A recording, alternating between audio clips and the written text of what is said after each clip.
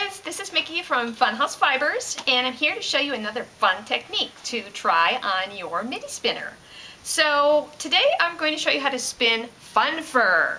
Uh, fun Fur is a really cool technique. Um, you have seen commercial yarns which are fun fur. Some people call this hand spun snarl yarn, but I prefer something more fun.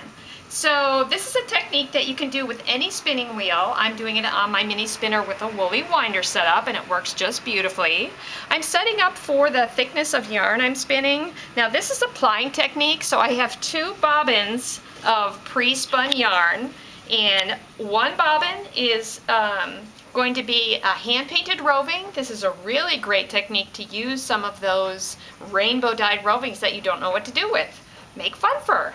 So one bobbin is my uh, rainbow dyed roving and then I have a bobbin of plain singles for the demonstration. This technique is also a really beautiful way to use two coordinating or contrasting colors of rainbow dyed yarn.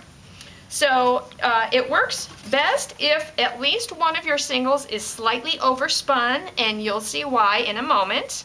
My wheel, I'm setting up for the thickness of yarn that I'm spinning. So if I'm spinning and plying a thicker single, I'll set it up for that. This is kind of a medium weight yarn, so I've set it up with a medium intake um, and medium speed. So the thing that you want to remember when you're spinning fun fur is you want to have both of your single bobbins on opposite sides of your body so that it's easier to manipulate your singles. So on my right side, I have my uh, single that's my base ply. And on my left side, in this recognizable Hansen bag, I have my rainbow dyed snarl bobbin. Um, you can see here that you don't need really fancy equipment to do fun techniques. You can use a Tupperware bowl or a cardboard box for plying.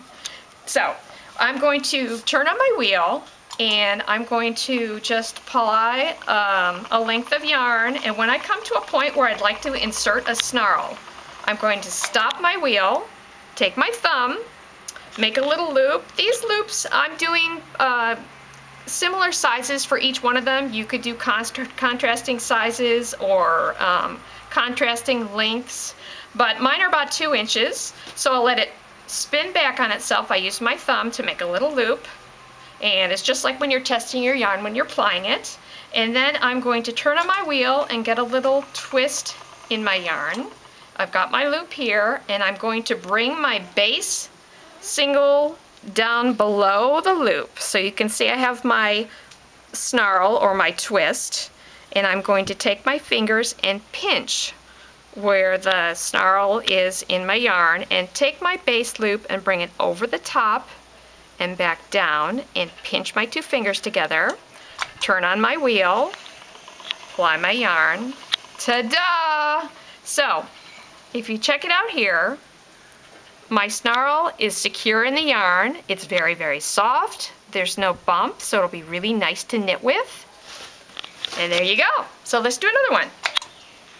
So I'm plying, I'm plying. I think I want to snarl here, so I'm going to stop my wheel, take my thumb, make a loop, straighten out my snarl, turn on my wheel, get a little more twist in my yarn, go below my snarl, bring my base yarn back over and around, give it a little pinch, turn on my wheel, apply my yarn. See that? Pretty easy, huh? Okay, let's do one more. I'm plying my yarn. I'm coming up to a place where I'd like to have my snarl. Stop my wheel.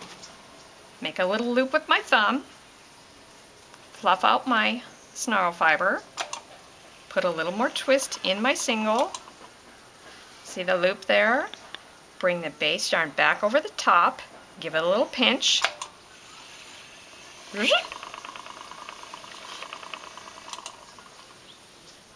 pretty easy, huh?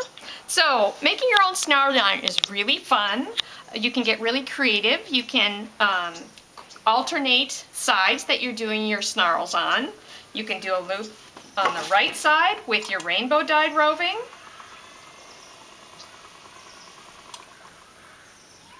Hello. Oops.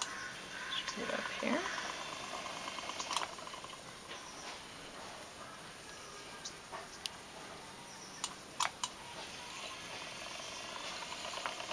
And then I can do a loop on my right side. Switch my roving, do a little loop, a little more twist in my yarn.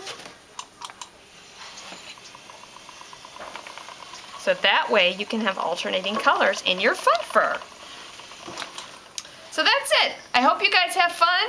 And if you have any more questions, you can reach me at funhousefibers.com or find me on Ravelry as Funhouse. Thanks for watching.